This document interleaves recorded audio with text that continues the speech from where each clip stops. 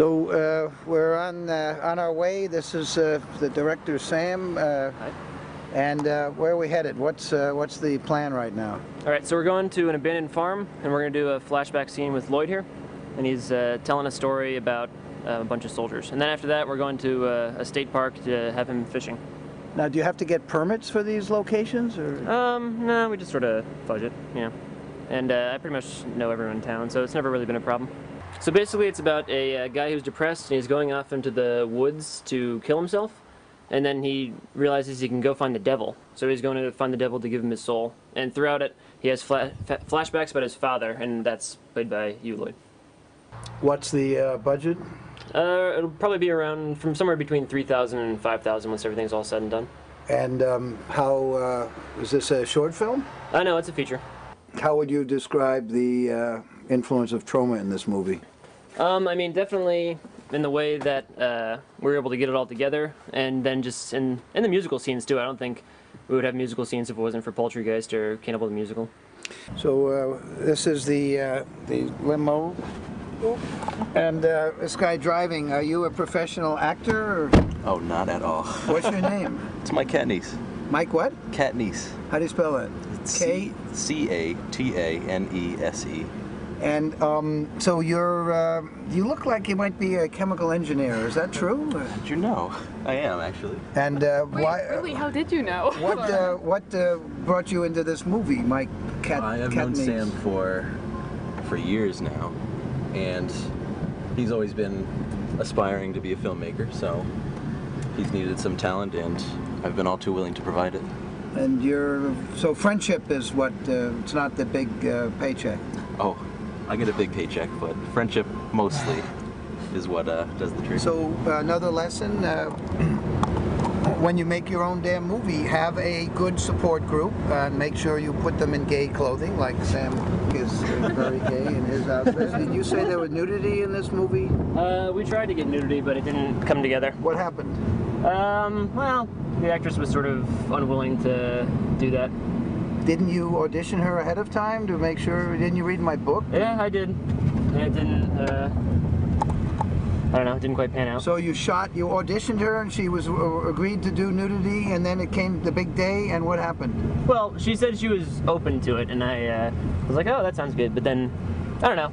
It, it was fine, though. In the end, we just um, decided that not to do it, or she decided not to do it. And uh, one more question, beautiful uh, Catherine. What, uh, what is, uh, what? Are you, how did you, how are you associated with this film? Are you a camera person, or? No, well, I um, I'm only up here for like a few days, you know, and it just since I'm you Sam's just, girlfriend. what, you, uh, you what? I'm Sam's girlfriend. We've been together for a while. Oh, So um, I'm just helping out. Like I've always. glad I found that out. helped Oops, Oh, sorry. that's okay. Excuse me.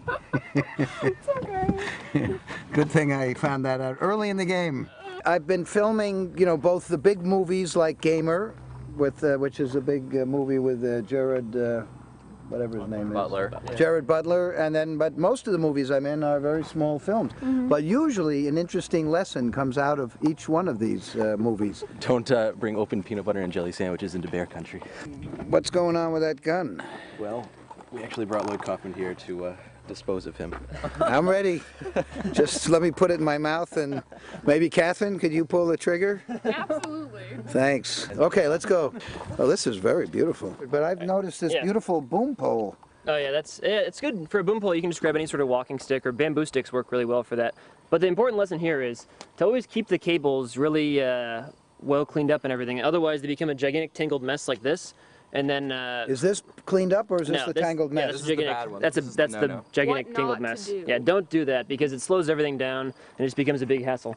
So at the beginning of every shoot, if there's people who haven't used like cables like this before, I always sort of teach them how to roll them up the proper way and keep a lot of uh, twist ties around so they don't um, become like this because this is terrible.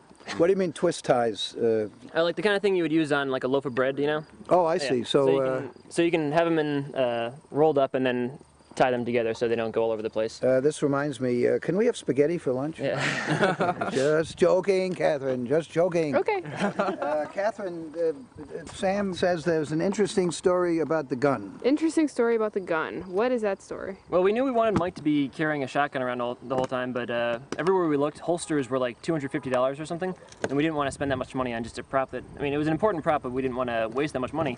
So I talked to my friend Drew, who's uh, sort of a handyman, and we got this uh, fake leather vinyl, and we got an old belt of his, and we got a cardboard tube that he had laying, laying around, and he glued it all together, and he bolted the belt onto here, and it really sort of works. It looks, I think, really good throughout the movie. And uh, just, I don't know, just if you ever think you need to buy a really expensive prop, I suggest. Well, wait a minute. Let's look at Oh, the, the rifle uh, itself. The rifle. It's so. Uh, aha! Look at Yeah. that. Yeah, the other thing too is Wow. Tricky, Amazing. tricky. Cool. What is this thing here? uh, it's just a lock to make sure it doesn't shoot anyone, even though there's not any, you know, uh, whatever on it right now. Very cool. Mm-hmm. So we are way, way deep in the woods here. Basically, we're trying to avoid any sort of traffic you might hear on the road or any sort of people who might be coming through.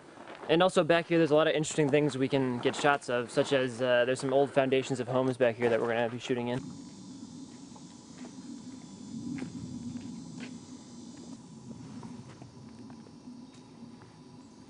Yeah, it'll be pretty cool. How's it look to you?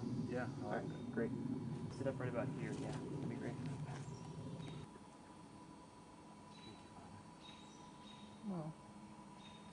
It was my pleasure. Cut. How was that, Andrew? Action, Mike. And pan, Andrew.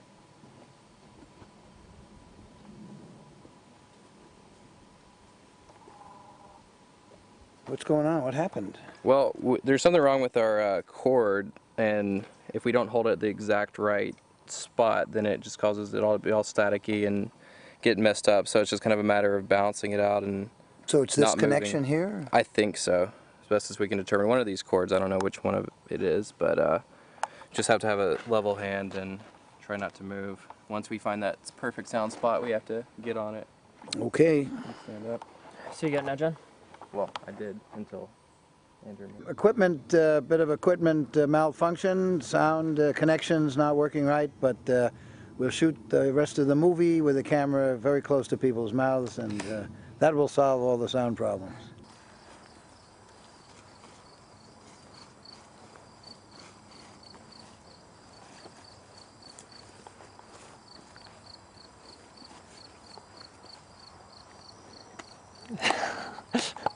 There's also issues with uh, moving equipment because no matter where you put the equipment, uh, somehow it always ends up in the shot. So uh, best thing is to have all your equipment stored in leaves. So where's the dolly? Where's the dolly?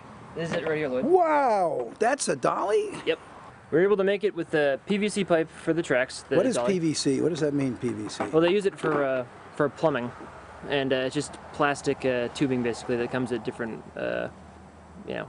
And then uh, big thing of wood here, and on the bottom we have skateboard wheels that uh, we put, and we have them turned in on themselves so they can uh, ride on the pipe pretty easily, and it goes really smoothly. The only problem is it's kind of heavy, but it gets really smooth shots, so it looks really nice. And it only cost probably altogether under $100. My friend uh, Drew and I, we looked up a whole bunch of different ways of making this. Basically go to Google and put in DIY uh, dolly track, and then you can probably start from there. And Drew basically uh, took a lot of different things that we found and then combined them together to make the most practical thing for what we were doing. Right here, we have some uh, dowels with electrical tape on them, and we stuff them in there and it goes up really close, if you want to see. Yeah, yeah, let's see.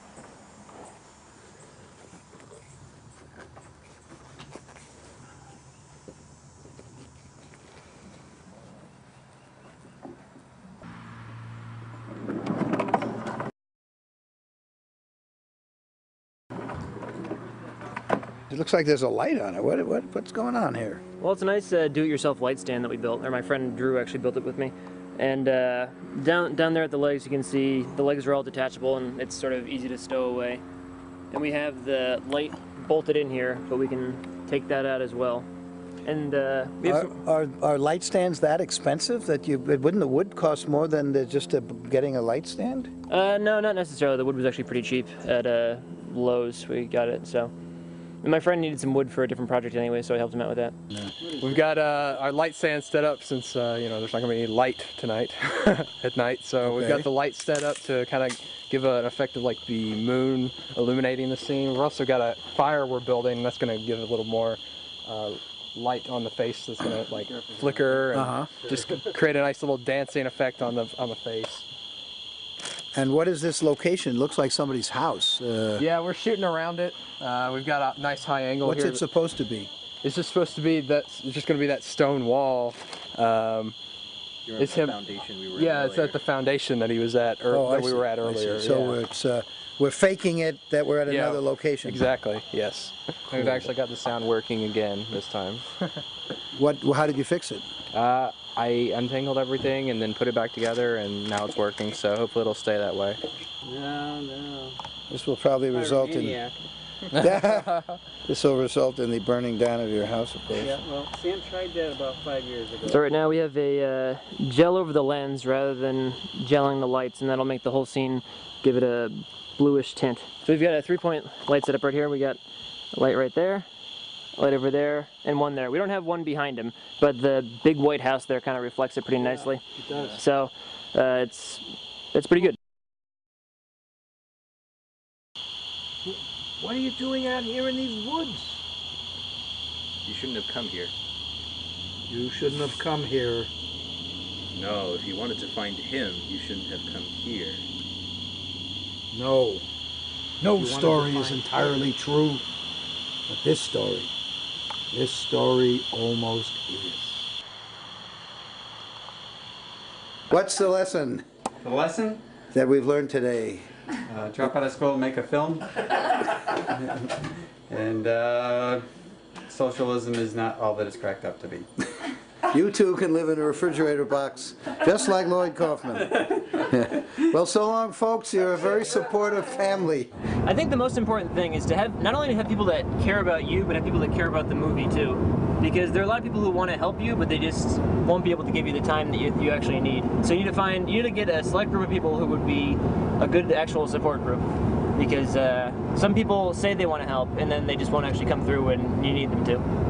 So you just got to assemble a good uh, crew and cast, basically. And once you have that uh, loyal people who believe in the movie, then it should actually work out. So uh, here we are in the New Haven uh, train station. Michael and uh, Mr. Sam here, and uh, it looks like it's late at night. And what? Uh, I guess we say goodbye, huh? It's uh, 10 o'clock at night, and we had you since uh, about 1 in the afternoon. It was just an awesome experience.